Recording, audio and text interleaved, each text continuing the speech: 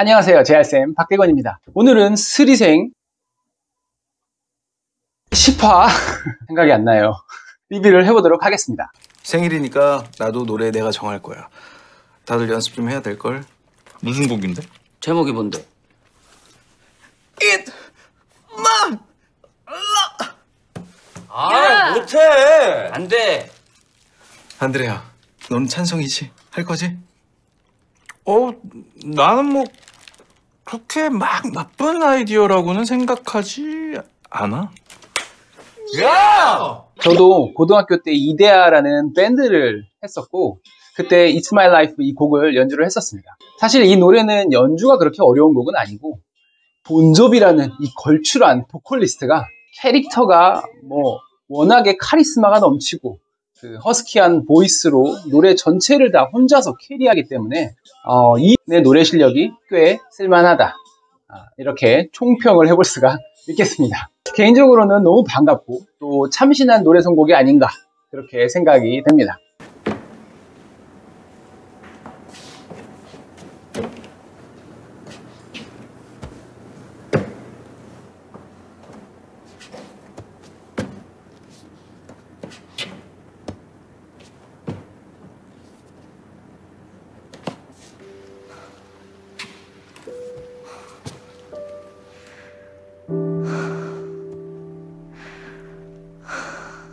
제가 숫자를 세어볼게요. 하나, 둘,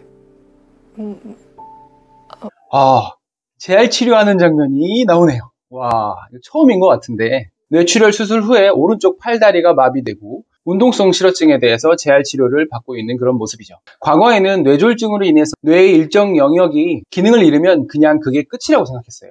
그런데 어린아이에게서만 있는 줄 알았던 뇌가 활성화되는 그런 현상이 뇌졸중 환자들에게서도 나타나고 회복이 일어나더라는 거죠. 그걸 뇌의 가소성, 뉴로플라스티시티라고 이야기를 하고요. 바로 뇌 재활의 탄생이죠. 뇌의 가소성을 극대화시켜서 최대한 이전 생활로 돌아갈 수 있도록 해보자라는 개념인데 사실 얼만큼까지 회복될 수 있는지는 알 수 없고 아직은 미지의 영역이죠. 얼마만큼의 기간 동안 어느 정도까지의 목표를 잡고 치료를 진행하는가 이것이 재활학과 의사의 경험과 능력입니다. 환자 재활에 있어서 중요한 부분이야 많죠. 처음에 얼마나 다쳤는지, 수술이나 치료가 빠르고 정확했는지, 기저질환은 없는지 여러 가지가 있겠지만 이런 것들은 재활 치료를 시작하기 전에 이미 정해져 있는 것들이잖아요. 제 경험상으로 앞으로의 재활이 있어서 가장 중요한 포인트는 환자의 의지와 보호자의 서포트입니다. 지금 여기서도 보이지만은 표정이 너무 어둡고 되게 힘들어 하잖아요. 몸도 그렇고 말도 그렇고 내 마음대로 되지가 않기 때문에 육체적으로 힘든 건 당연하고 정신적으로 이겨내기가 굉장히 힘든 상황일 수밖에 없거든요. 환자 스스로도 힘을 내주셔야 하지만 의료진도 보호자도 정신적인 지지와 칭찬과 동기부여를 지속적으로 해주는 게 매우 중요합니다. 재활학과 특성상 진료나 면담 시간이 길어질 수밖에 없는 이유이기도 하고 이런 것들 때문에 어느 정도는 정신과적인 영역을 가진다고 볼 수도 있죠. 실제로 그쪽 약을 많이 쓰기도 하고요. 뭐 안 좋은 거라도 아니 그게 아니라 유린 HCG 파지티브야. 그게 뭐야, 자기야? 배탈이 안 났으면 언제 알았을까요? 아예 전혀 예상하지 못하고 있었던 것 같은데. 응급실에서는 가임기 여성은 유린 HCG라는 검사를 루틴으로 하게 됩니다. 지금처럼 본인도 모르게 가능성이 있을 수도 있고, 만약에 그렇다면 함부로 검사하거나 뭐 약을 복용해서는 안 되니까. 임신이라고는 상상도 못했어요. 자궁 벽이 약간 두껍긴 한데 이건 경과를 보면 될 것 같고요. 어, 동영상도 찍어놨네요. 아기가 이렇게 움직이고 있습니다.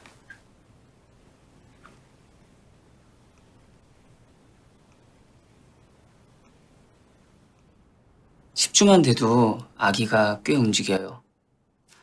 이 눈으로 시각적으로 확인한다는 것이 얼마나 어마어마한 영향을 주는지를 알 수 있는 장면이죠. 사실 이 순간의 감정은 겪어보지 않은 사람은 절대로 알 수가 없는 그런 느낌이에요. 아마 겪어보신 분들은 지금 이 아내분의 갑작스런 심경의 변화, 변화를 200% 아마 공감하실 수 있을 겁니다. 그럼 거의 된 거 아닌가요?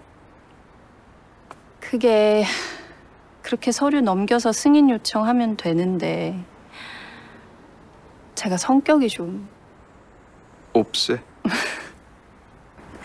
옵세요. Obsessive Compulsive Disorder, OCD, 강박장애를 뜻하는 말인데 여기서 앞에 글자만 해서 옵세라고 보통 이렇게 이야기를 합니다. 대부분 의료진들의 직업병이기도 하죠. 실수가 없어야 하는 직업이니까 옵세해야 할 수밖에 없고 그래야 하는 것이 맞습니다. 옵세하게 손도 자주 씻어야 되죠. 뭐 병적인 수준만 아니라면 석션 주세요.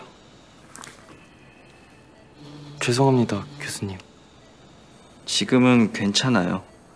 근데 저는 선생님들이랑 다르게 세배 확대된 시야로 보고 있어서 조금만 흔들려도 제 눈에는 수술 중에 지진 난 거랑 똑같아요. 만약 혈관 다이섹션 하는 중에 건드려진 거면 위험한 상황이었고요. 잘하고 있는데 조금만 더 조심해 주세요. 수술을 하게 되면 물론 집도의가 메인이기는 하지만 어시스트 하는 사람들의 숙련도 그리고 경험을 통한 손이 잘 맞는 정도에 따라서 수술의 깔끔함이나 수술의 시간 이런 것들이 달라집니다. 간단한 수술이야 큰 차이가 없겠지만 복잡하고 어려운 수술의 경우에는 집도의의 실력만큼이나 중요한 게 assistant의 능력이죠. 간단한 예로 메스 이렇게 하면 간호사쌤이 메스를 주잖아요. 능숙한 간호사쌤이 주면 그냥 손에 착 붙어가지고 바로 쓸 수 있습니다. 그렇지 못한 경우에는 받고 나서 이렇게 꼼지락꼼지락 손에서 위치를 다시 잡아야 돼요. 이게 별거 아닌 것 같지만 엄청난 내공의 차이거든요. 이리게이션 해주세요. 네. 이리게이션은 생리식염수로 세척을 해서 이물질도 제거하고 지혈이 안 된 곳이 있는지 확인하는 겁니다. 교수님, 보비로 해도 될까요? 아니요, 타이로 할게요. 네, 알겠습니다. 보통 작은 혈관들을 지혈을 할 때는 지금 말한 보비라는 기구를 이용해서 전기로 치익 찢어서 지혈을 하게 되고요. 그래서 수술방에는 타는 냄새 많이 납니다. 이거 오래 맡으면 머리 아플 때도 있어요. 보비는 이 기구를 개발한 사람 이름인데 이걸로 인해서 수술적인 치료들이 비약적인 발전을 할 수가 있었죠. 타이는 직접 혈관을 꼬매준다는 이야기입니다. 자기 판막을 살리긴 어렵겠는데 안 되겠다 소영 간호사 연락해서 호모그라프트 준비해달라고 해주세요 네. 어, 선천성 판막 질환이 있는 아이의 수술인데요. 판막의 기능이 손상되면 심장에서 몸으로 피를 보내줘야 되는데 그 엔진의 출력이 떨어지게 됩니다.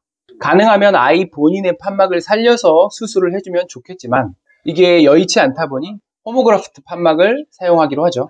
호모그라프트는 동종 이식이라는 뜻인데요. 같은 종, 장기 기증자의 심장 판막을 냉동으로 보관을 했다가 그걸 이식하는 방법을 말합니다.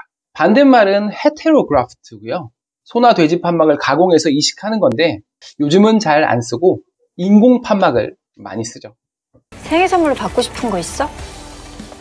아유, 이 나이에 무슨 생일 선물이야. 없어. 마지막이야. 3, 2, 1. 아무거나. 이 장면에서 너 라고 하면 어떡하지? 그 생각했는데 저랑 같은 생각하신 분 계시죠? 댓글 남겨주세요. 항암 치료 안 받고 아기 낳겠습니다. 그렇게 하게 해주세요, 교수님. 저는 죽어도 좋아요. 아기만, 아기만 건강하게 나오게 해주세요. 아기랑 엄마랑 다 건강해야지. 아기만 건강하면 어떡해요? 아기가 엄마 보려고 나왔는데 엄마가 없으면 어떡해요? 그럼 무책임한 엄마가 어디 있어요?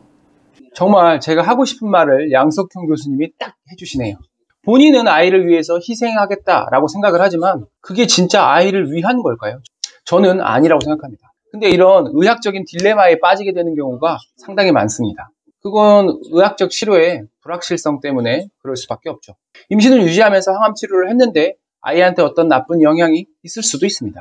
아이를 포기하고 항암 치료를 했는데 완치가 안 될 수도 있어요. 단지 조금 더 확률이 높고 더 후회하지 않을 선택을 해야 하는 것이죠. 그래도 지금 이 상황에서는 임신을 유지하면서 아이의 장기가 전부 형성된 이후인 14주 정도부터 항암 치료를 시작하는 선택이 어렵지 않게 합리적으로 보입니다. 우리 도지학 선생님한테는 왜 자꾸 이렇게 안타까운 일들이 생기는 걸까요? 그래도 어쩌면 음, 다 극복 가능한 일들이지 않나 그런 생각도 듭니다. 약속 없는데요? 왜요? 나랑 밥 먹자. 다섯 번째 고백은 밥 사줄게. 내가 할게. 아!